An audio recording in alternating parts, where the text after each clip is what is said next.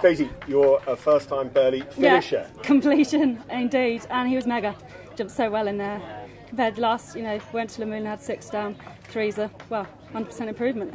The time penalties, they were all just about making I sure. I just, yeah, you know, he gets that. He fights for his head. He, he argues with me, and it was all about just trying to keep the rhythm and jump a nice around. I mean, Luhmühlen especially, your first time four star Yeah. back to one of your home This is so special.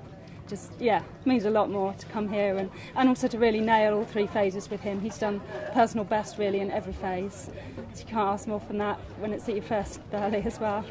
Okay, so now you are high on the pig's back. You're ready for Badminton. Yeah, well that'll be the plan, wasn't it? You know, give him a break, bring him out through the winter, do some more shadowing practice and yeah, we know we've got the cross country there and the poles sometimes let us down, but I was so pleased with him today. He tried so hard.